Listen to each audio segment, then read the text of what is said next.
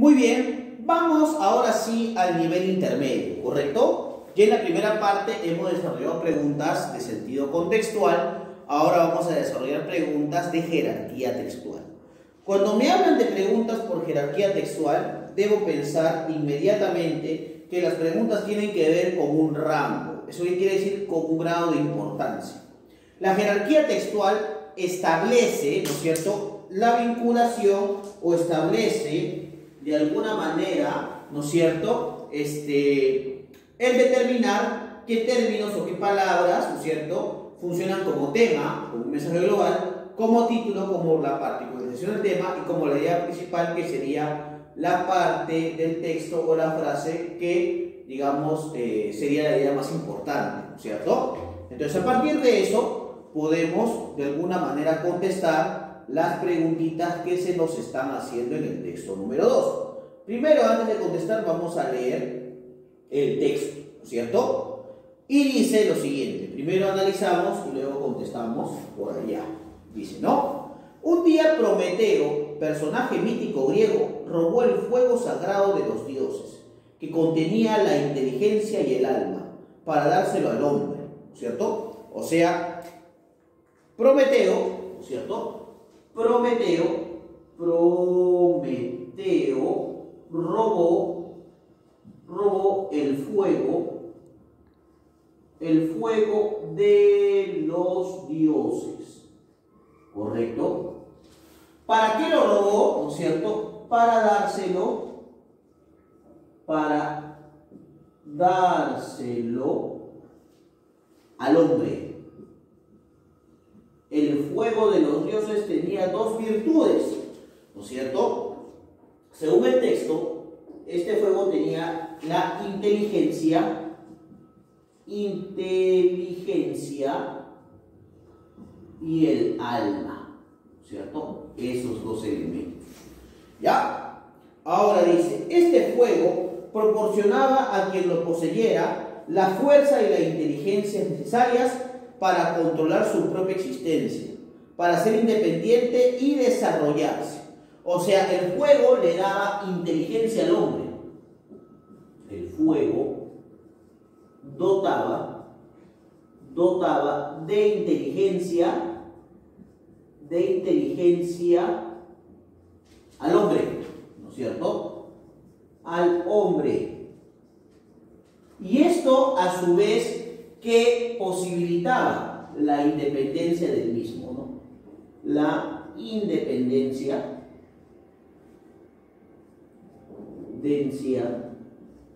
del mismo.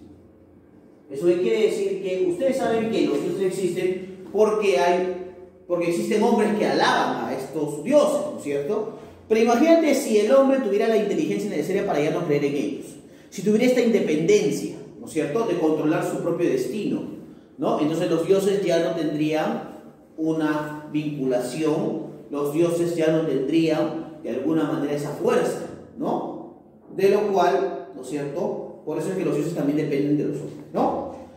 Ahora dice, como castigo, ¿no es cierto? Los dioses lo ataron a una montaña y lo condenaron a que cada día un águila le comiera el hígado, lugar en donde albergaba sus emociones. De noche la víscera se reproducía misteriosamente, dilatando el sufrimiento de Prometeo.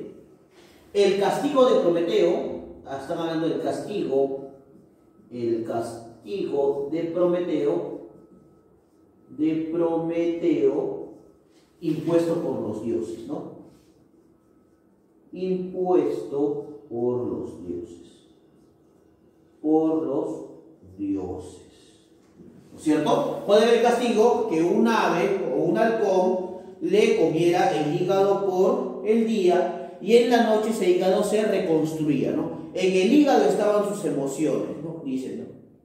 Dice que se le castigaba por haber intentado dar al hombre la posibilidad de hacerse a sí mismo, controlando sus emociones y su inteligencia. Finalmente, la liberación de Prometeo por Hércules y su reconciliación con los dioses devolvió al hombre la inteligencia, las emociones y la fuerza necesarias para dirigir su vida, ¿no es cierto? Después de ese castigo, entonces, Prometeo recobró de alguna manera, ¿no? Prometeo recobró su libertad y el hombre fue dotado de inteligencia y también fue dotado de, eh, digamos, independencia, ¿correcto? Muy bien.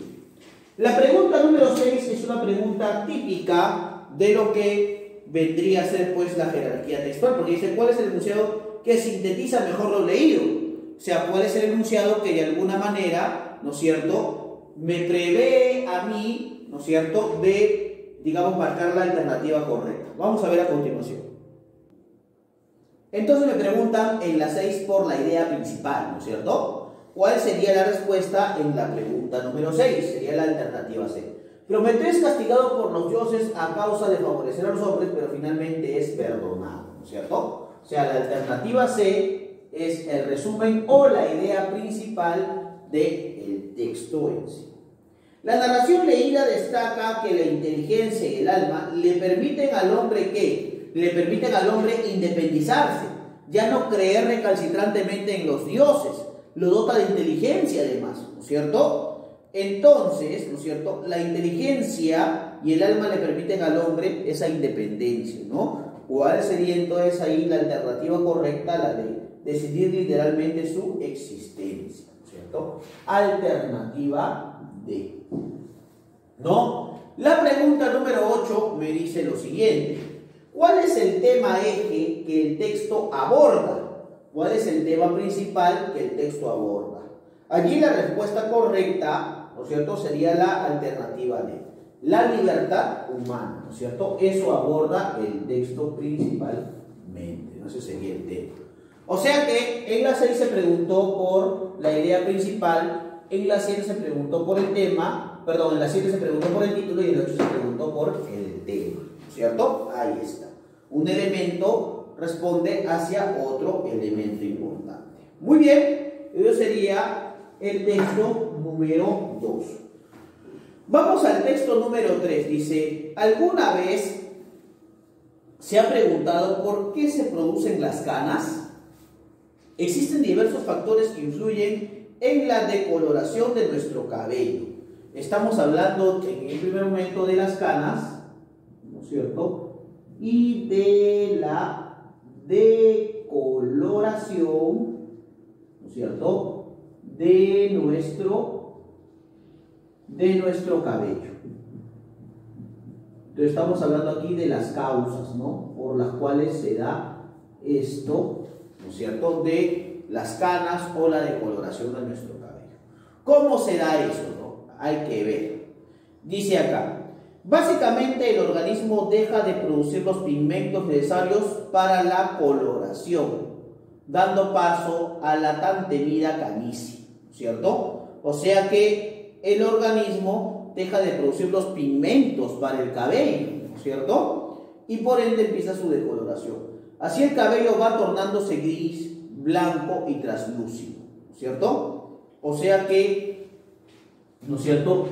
El cabello el cabello deja, deja de producir, de producir la pigmentación, pigmentación, ¿no es cierto? Necesaria, ¿no? Necesaria. Eso puede ocurrir o eso puede pasar. Ahora dice también lo siguiente. Dice también lo siguiente. Sin embargo, hay que tener en cuenta que esta alteración en el sistema de pigmentación no solo se debe al paso del tiempo, sino también a factores genéticos y hereditarios que influyen de manera decisiva. O sea que esto no solamente son por condiciones, ¿no es cierto? Eh, no solamente son por condiciones de tiempo, ¿no? Sino también por factores genéticos, ¿no? Esto, esto se da por condiciones, ¿no es cierto?, de tiempo, de tiempo, pero también, pero también por genética. Genética. ¿Esto qué quiere decir? Por ejemplo, si tu abuelo, ¿no es cierto?, empezó a de repente tener canas a los 30 o 35 años, es seguro que alguien de tu familia, ¿no es cierto?, adquirirá, ¿no?, esta condición del cabello, las canas, ¿no? Eso también puede pasar. Recientes estudios han logrado identificar un par de genes que desempeñan un papel definitivo en este proceso. Determinan el tiempo de vida de las células que dan el color natural del, al cabello. Según los científicos, mediante un tratamiento que actúa sobre esos genes, se puede hacer que estas células llamadas eh, melanocitos, melanocitos, ¿no es cierto?, vivan por más tiempo, previniendo la aparición de cabellos grises. Así, es muy probable que pronto ingresen al mercado píldoras contra la aparición de canas, pues, ¿no? Ahí está. Entonces eso, mira, estamos hablando de las canas y cómo de repente por ahí se previenen, ¿no? Las canas. Entonces vamos a responder las preguntas 9, 10 y 11, que también son preguntas por jerarquía textual, ¿cierto? Dice la pregunta 9, el texto trata principalmente sobre qué. ¿Sobre qué trata el texto? Sobre los factores implicados en la aparición de la caricia y su posible tratamiento científico, ¿no es cierto? O sea que la alternativa correcta en la 9 es la alternativa C, ¿correcto? Vamos a la pregunta 10, dice, de los leídos se puede afirmar que la canicie, ¿no es cierto? Que la canicie que es producto de múltiples factores, ¿no es cierto? No solamente tiempo, sino también por genética y por condiciones hereditarias, ¿no es cierto? O sea que la respuesta correcta sería la alternativa B, ¿no? Y la pregunta 11 dice, según el texto, la posible solución científica a la canicie estriba en qué? ¿Dónde está la posible solución de la canicie? La posible solución de la canicie está en que, de alguna manera, se puede prolongar la vida de los melanocitos, ¿no es cierto? O sea, lo que produce la pigmentación en el cabello. Alternativa E, entonces sería la respuesta correcta en ese texto número 3, ¿correcto? Continuamos en el siguiente video con las preguntas de compatibilidad e incompatibilidad y vamos ya al nivel avanzado para cerrar con, digamos, eh, esta clase. ¿Por chicos?